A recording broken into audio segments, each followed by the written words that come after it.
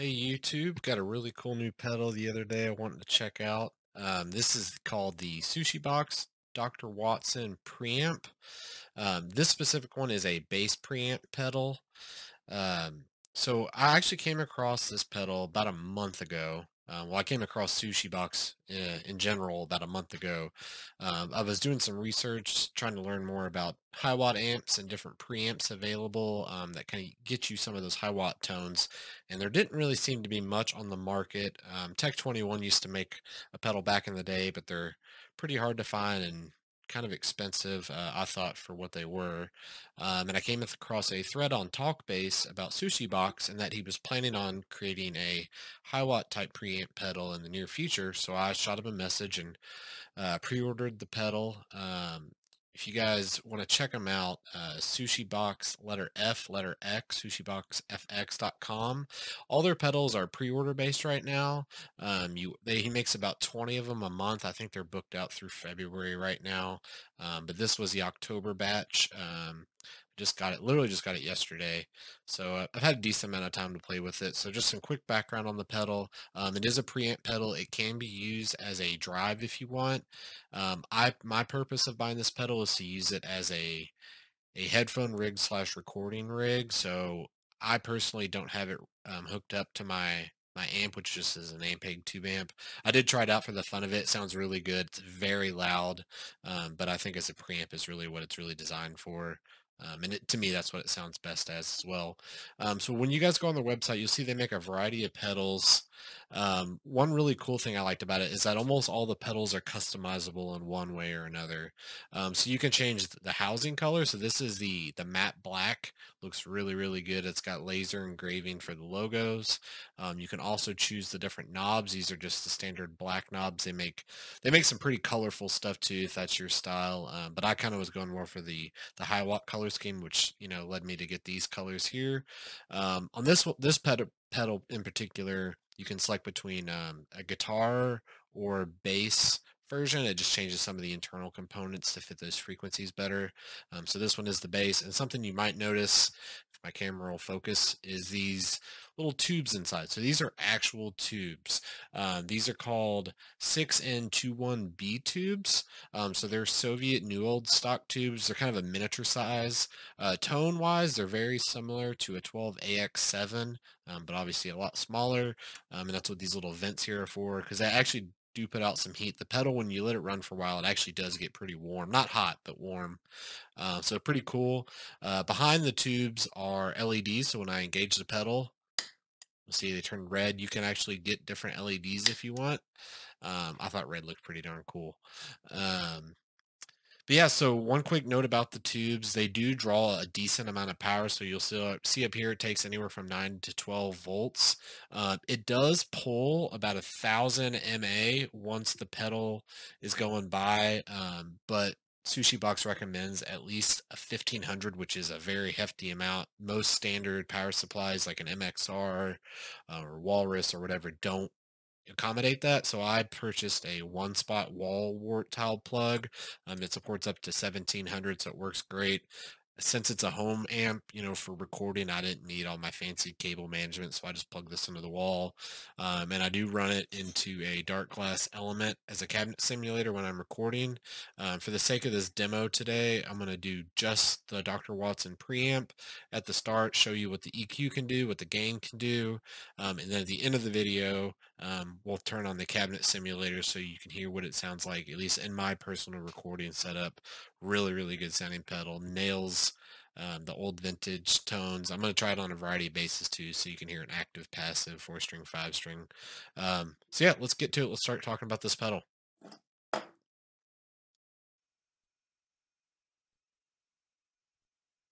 All right, I got the pedal all hooked up, so now we're going to start messing with some of the demos. Um, so I'm going to start this off everything at noon, gain at 9, master about 12. All right, so here is my bass tone without um, any any signal.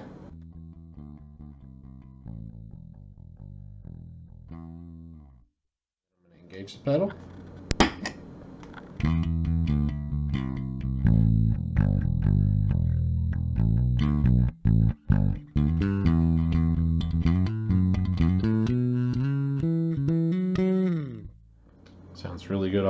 All right, so I'm going to show you guys the different um, EQ options. So I'm going to leave everything at noon, and we're going to mess with just the bass now. So the bass is probably the widest range out of all the, the tone controls on this pedal. So all the way off, pretty thin.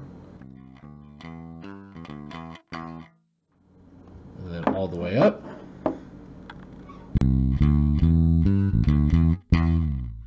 Definitely tell it's a whole lot fatter. And then back to noon.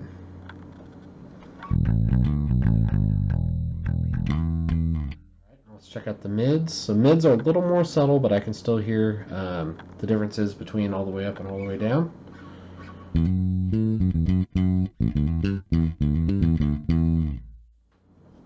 All the way up. I'm going to try to play open notes here while while um, turning this all the way up so you can hear it.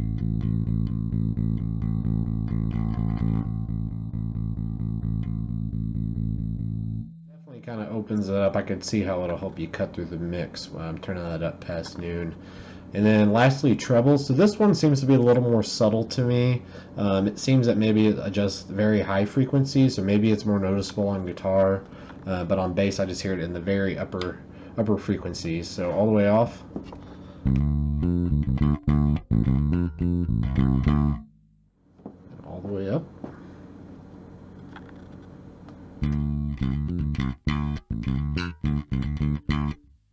it, kind of seems that maybe like some fret noise comes through which I, I do like so I definitely will use it uh, maybe with an overdrive in front of it um, maybe hear a little more as well so I'll do another sweep here while playing on uh, the open D string. In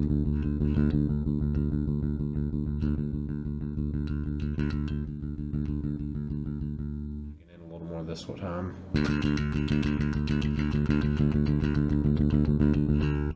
Actually, can notice it a little more when I do that towards the end there. Um, so yeah, so let's go to the gain now. So I have the gain at 9, so a pretty clean tone. Right, we'll do about 10:30, 11ish.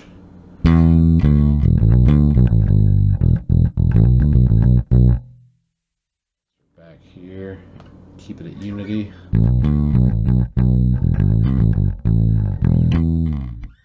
Starting to pick up that grit already, which I love.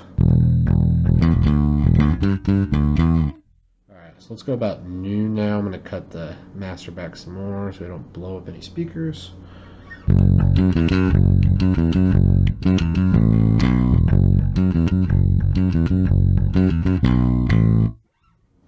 Alright, let's go about 2 o'clock. Should start getting some hair on this now for sure.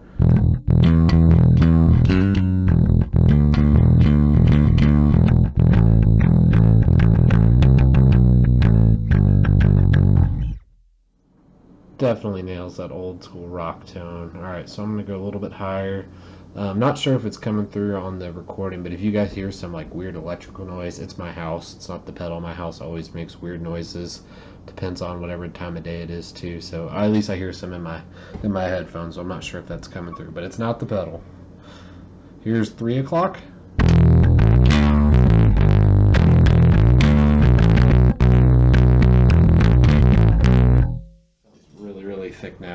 I'm gonna try a little bit with a pick here.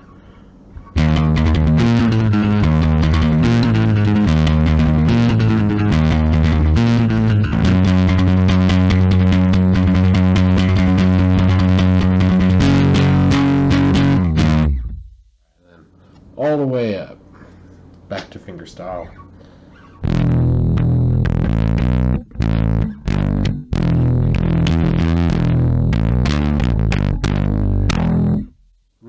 that compress. When I dig in, you can almost hear it squish that tone. It sounds pretty good. I'm going to play really soft and then get heavier. It's, it's a very touch sensitive pedal, which is something I look for.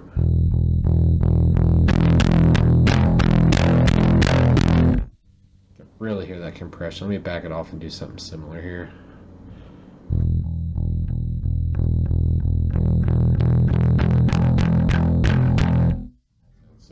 That's exactly what I want in a preamp type pedal, especially when you're going for that tube tone.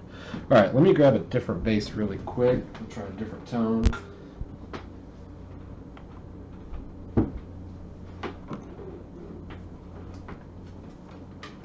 Alright, this next bass, this is a five-string Warwick Thumb, so this is uh, active pickups and active preamp. Um, probably going to have to cut the gain back just because it is an active bass, so let's go about 9 o'clock again, bump the volume.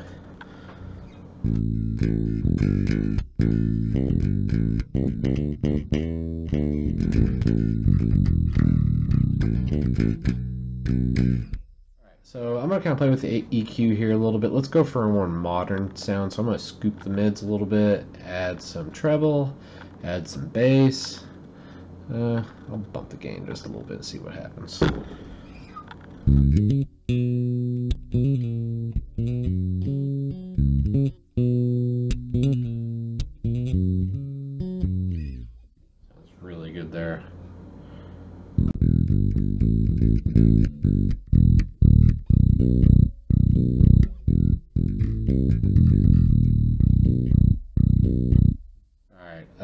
See how this sounds. Sometimes I usually don't like tube style overdrive on an active bass, but you never know.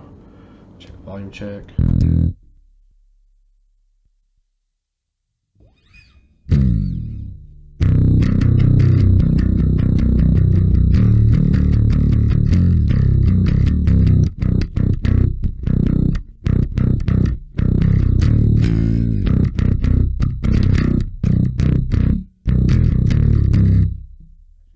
Really good. I like that. All right, um, got one more bass just for the sake of variety.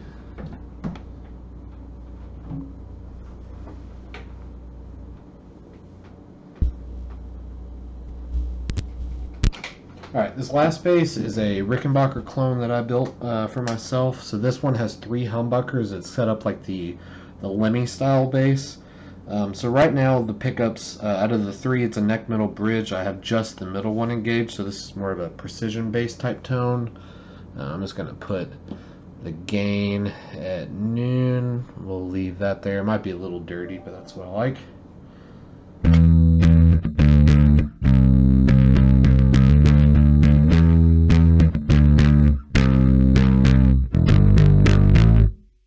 we'll go clean just so you guys can hear that. Put some mids back in there.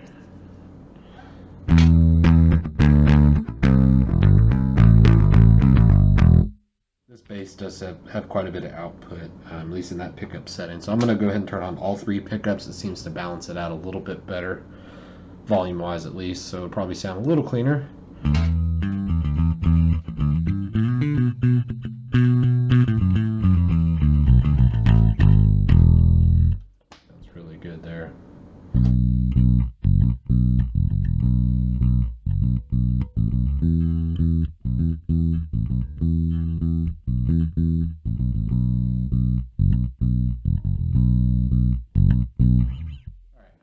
I really like that. Alright, so I'm going to go ahead and flip back to the jazz bass really fast.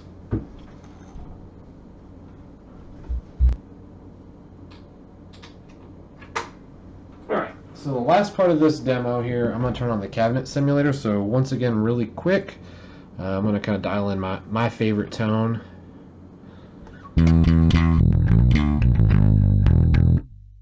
More mids there. I like a lot of mids.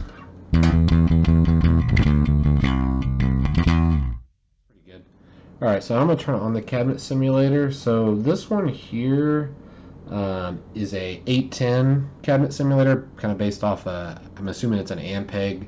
It's one of the built-in Darkglass um, cabinet simulators.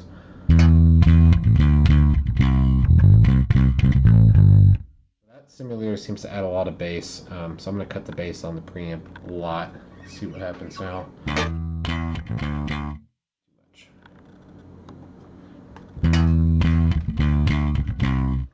That's a good tone there.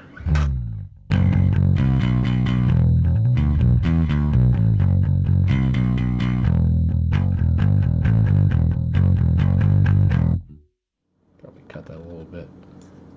Add some more top end. Really good rock tone, especially with the pick here.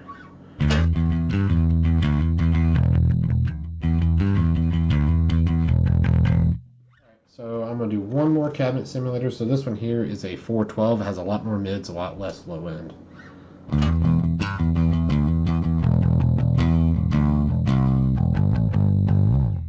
Really like that. tone. I'd probably use that for recording right there for a good dirty rock tone.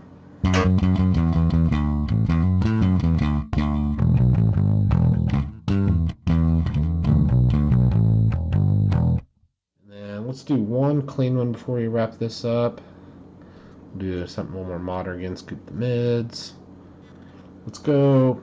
So there's a 410 simulator on this pedal that's really bassy, so I'm probably gonna have to cut it, but it has an awesome modern tone, especially for slap.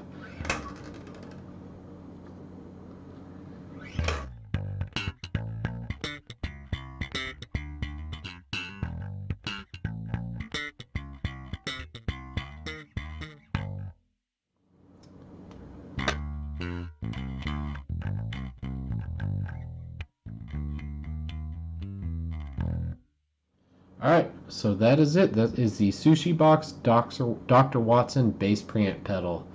I'll make sure to put a link in the description to their website. Feel free to check them out. Highly, highly recommend this pedal. Thank you for watching.